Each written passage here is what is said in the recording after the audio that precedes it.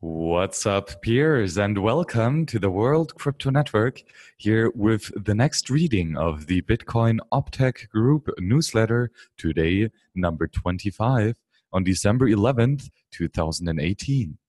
This week's newsletter suggests helping to test Bitcoin Core's maintenance release candidate provides a link to modern block explorers whose code has been open sourced and briefly describes a suggestion for signature hashes to optionally cover transaction size. Notable code changes made, it, made in the past week to popular infrastructure projects are also described.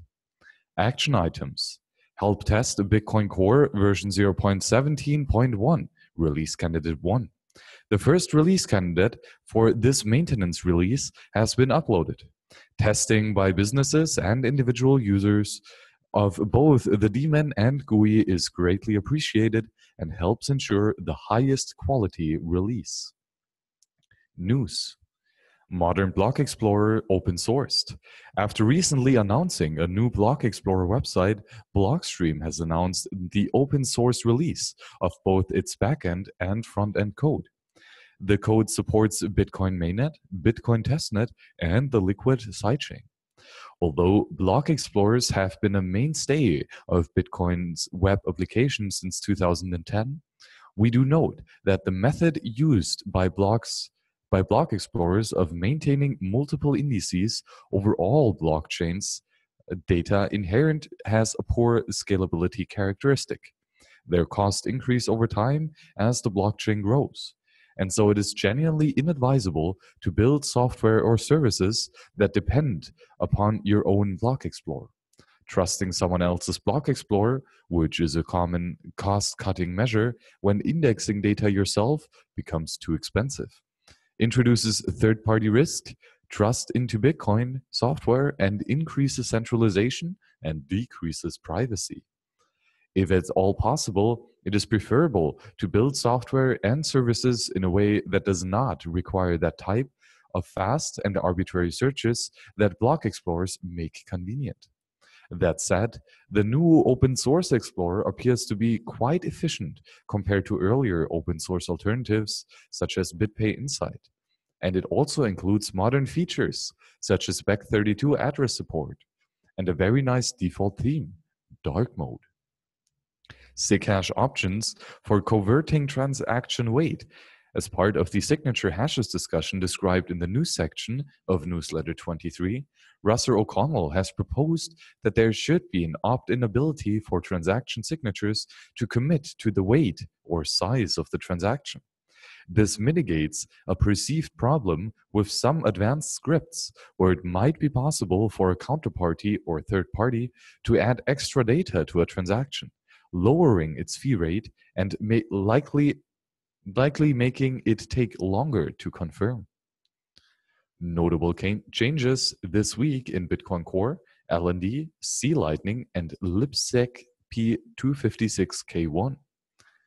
LND code change adds a new max backoff configuration option that allows changing the longest amount of time the node will wait before giving up attempting to reconnect one of its pre-existing peers. The same current exponential backoff algorithm will be used up until the maximum is reached. Another LND merge makes it easier to use the autopilot recommendation engine with alternative recommendation engines. The current method simply returns a list of peers with whom it is re recommended to open new channels. The new method allows specifying what data to consider and returns a list of nodes scored by the algorithm, higher scores being better. Alternative recommendation engines can return their own scored recommendations, and the user or their software can decide how to aggregate or otherwise use the scores to actually decide which node should receive channel open attempts and a C Lightning commit adds a new check RPC that checks whether an RPC call uses valid parameters without running the call. Another C Lightning commit adds a new plugin dir configuration option that will load plugins in the indicate, indicated directory. The parameter may be passed multiple times for different directories. A plugin option also allows loading individual plugins. Another C-Lightning merge allows plugins to add the new JSON RPC methods. To the user, this will look no different than the built-in methods, including appearing in the list of supported methods returned by the help RPC. And the last C-Lightning commit adds a new announce parameter to the fund channel RPC that allows making the channel as private, meaning it won't be publicly announced to the network. The default is for channels to be public. Peers, as usual, subscribe to the Bitcoin Optech newsletter and you receive all this glorious information for free, as Libra information should be, every week to your inbox. Thank you, of course, to all the contributors and sponsors of the Bitcoin Optech group.